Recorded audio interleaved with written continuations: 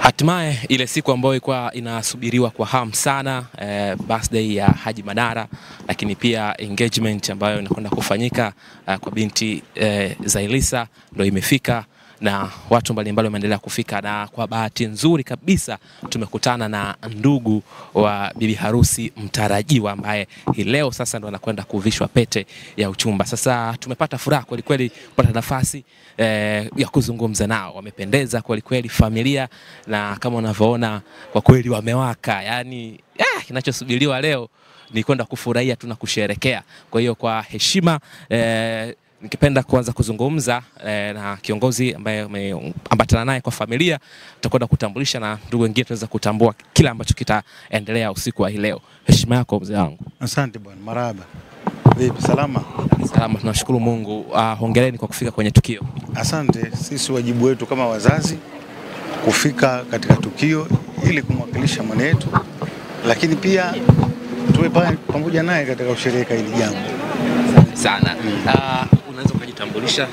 Eh, naitwa Hemedi Juma Karata ama mzee Karata kama wanavyoniita. Mimi ni kaka kakake na Zailisa. Uh, tunakutana eh, yani baba yake Zailisa, mimi ni mjomba wangu.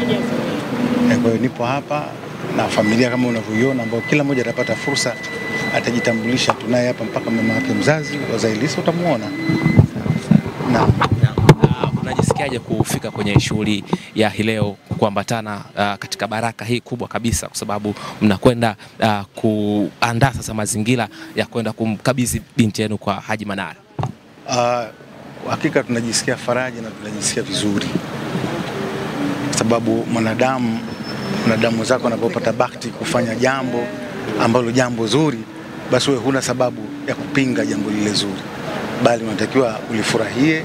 Ulifurahia kwako jambo lile zuri, basi ndio unakuwa umemwombea dua. Na mwanadamu siku zote mwombee mwenzako mambo mazuri.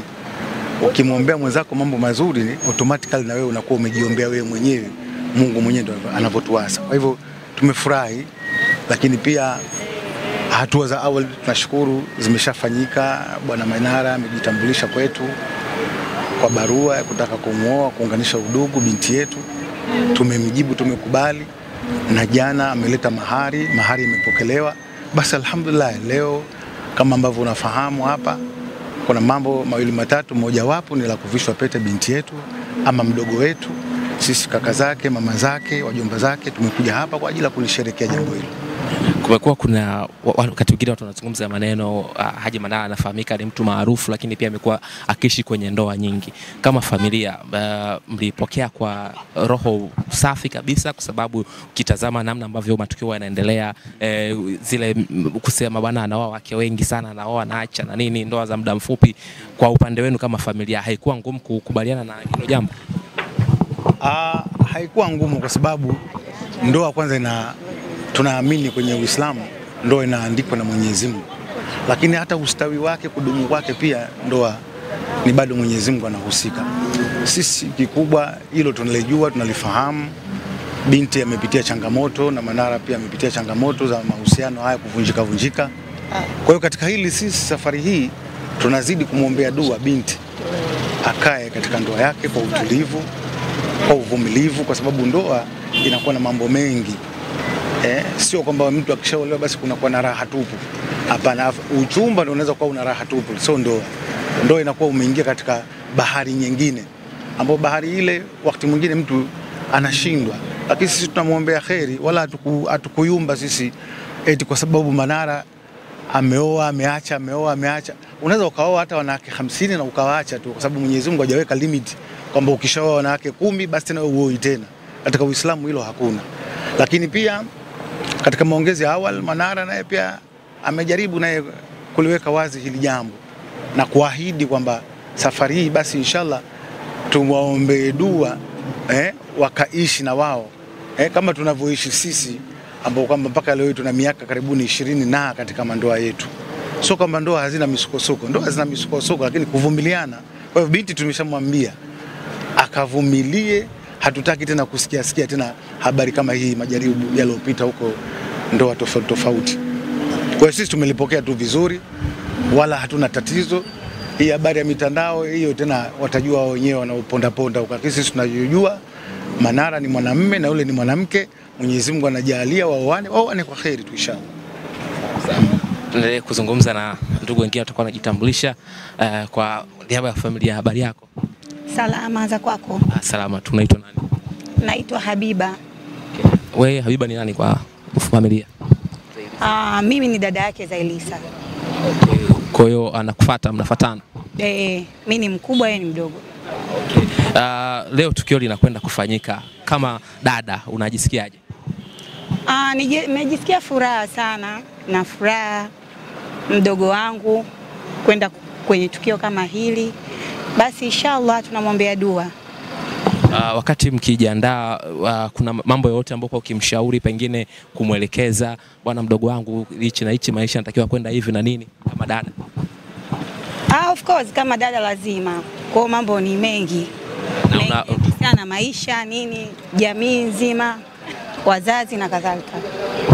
Una nini cha kumwambia sasa leo? Uh, cha kumwambia kwanza amshukuru Mwenyezi Mungu kwa hatua alofikia, na pili basi aendelee kuwa mtulivu, avumilie. Mwisho wa siku inshallah Mwenyezi Mungu atafanikisha kile ambacho yeye anakihitaji na sisi sote. Watu wengi kizungumza maneno kwenye mitandao ya kijamii, bwana Zailisa, bwana utapotea, bwana Manara huyo na nini, mambo mengi. Uh, pressure kama hizo, ukipata nafasi ya kuzungumza na mdogo wako unamwambiaje? Anamshusha pressure, namwambia asiwe be pressurized, asisikilize watu wanaongea nini. Hatimaye ile siku ambayo ilikuwa inasubiriwa kwa hamu sana eh, birthday ya Haji Manara, lakini pia engagement ambayo inakwenda kufanyika eh, kwa binti eh, Zailisa ndio imefika na watu mbalimbali wameendelea kufika, na kwa bahati nzuri kabisa tumekutana na ndugu wa bibi harusi mtarajiwa ambaye hii leo sasa ndo anakwenda kuvishwa pete ya uchumba. Sasa tumepata furaha kweli kweli kupata nafasi eh, ya kuzungumza nao. Wamependeza kweli kweli familia, na kama unavyoona kwa kweli wamewaka, yani eh, kinachosubiriwa leo ni kwenda kufurahia tu na kusherekea. Kwa hiyo kwa heshima eh, nikipenda kuanza kuzungumza eh, na kiongozi ambaye ameambatana naye kwa familia, tutakwenda kutambulisha na ndugu wengine tuweza kutambua kile ambacho kitaendelea usiku wa hii leo. Heshima yako mzee wangu. Asante bwana, marahaba. Vipi, salama? Salama, tunashukuru Mungu. Uh, hongereni kwa kufika kwenye tukio. Asante. Sisi wajibu wetu kama wazazi kufika katika tukio ili kumwakilisha mwana yetu lakini pia tuwe pamoja naye katika kusherehekea hili jambo. sana. Uh, unaweza ukajitambulisha? Eh, naitwa Hamedi Juma Karata ama mzee Karata kama wanavyoniita. Mimi ni kaka yake na Zailisa. Uh, tunakutana eh, yani baba yake Zailisa, mimi ni mjomba wangu. Eh, kwa hiyo nipo hapa na familia kama unavyoiona, ambao kila mmoja atapata fursa, atajitambulisha. Tunaye hapa mpaka mama yake mzazi wa Zailisa, utamuona na Uh, kufika kwenye shughuli ya hii leo kuambatana uh, katika baraka hii kubwa kabisa, kwa sababu mnakwenda uh, kuandaa sasa mazingira ya kwenda kumkabidhi binti yenu kwa Haji Manara? Uh, hakika tunajisikia faraja na tunajisikia vizuri, kwa sababu mwanadamu mwanadamu zako anapopata bahati kufanya jambo ambalo jambo zuri, basi wewe huna sababu ya kupinga jambo lile zuri, bali unatakiwa ulifurahie, ulifurahia kwako jambo lile zuri.